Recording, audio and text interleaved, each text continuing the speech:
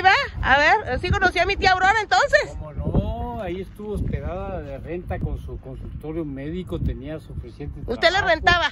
Sí, nosotros cuando yo vivía en la planta de gas grande, ella que vivía acá, ¿te acuerdas? Sí. La tía Aurora. ¿Y qué traía? ¿Qué dice que traía? Tenía muchos perros, cosas, pero grandote, les tenía una, una, hecho un corralito y ella sus perros y ella sus perros y, Hijo, desde esos años ya andaba con los perros la tía, ¿no? y tenía sus niños.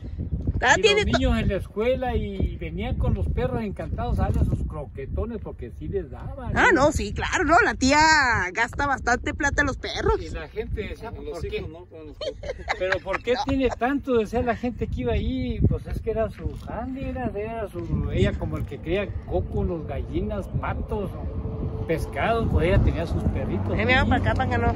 Para, darle más luz. Ándele.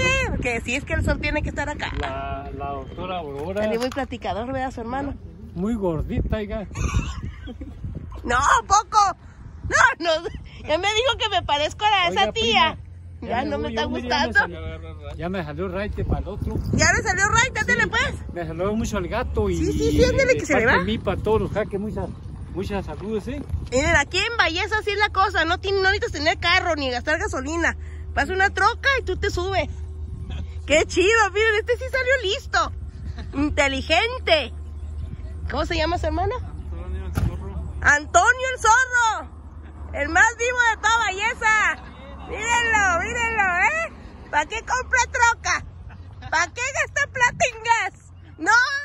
Pues así yo, yo, yo rentando carro. No. Ya no nomás. Ya me dejó aquí con la plática. Me dijo gordita, me dijo no sé qué tanto y... Estuvo chido, ¿eh? Estaba bien chido, estábamos aquí. ¿no? ¡Uy, ya me, ya me salió Ray! ¿Y así la vive él? Sí, así se O sea que no tiene troca. Sí, tiene varios. Sí, pero es tri- no gasta gasolina. No, pues así está yo. No, ni ya, no.